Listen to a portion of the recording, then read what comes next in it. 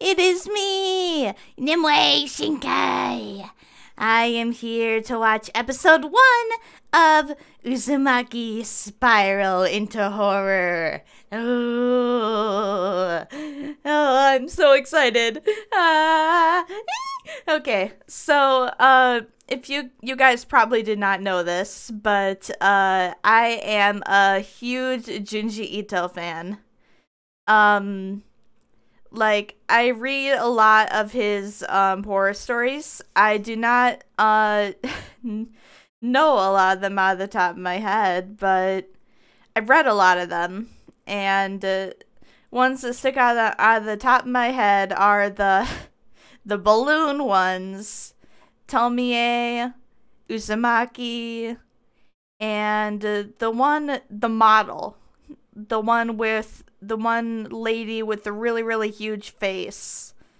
Uh, I think it was called the model.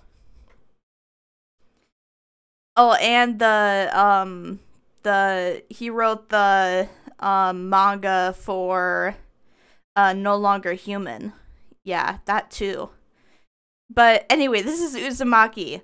Uh, I have the actual uh, physical version of this of this book.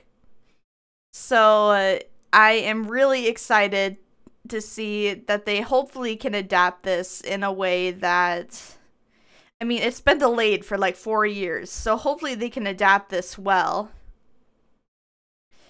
Um but I'm just really excited. Just really really really excited.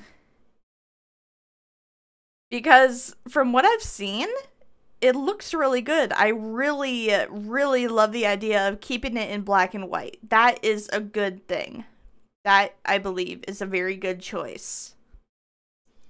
And the music, from what I've heard, I can hear the spirals in it. Like the little, like I could hear the spirals in the music that I heard in the trailers. Like it, if you I don't care if you don't like horror. Just you'll be safe with me, okay? I'll keep you safe. I'll keep you safe. At least give episode 1 a shot, okay? You you can keep your eyes closed. You can keep your eyes closed, okay? You'll be safe with me, okay? I'll keep you safe. All right, link to my reaction in the description. I'll see you there.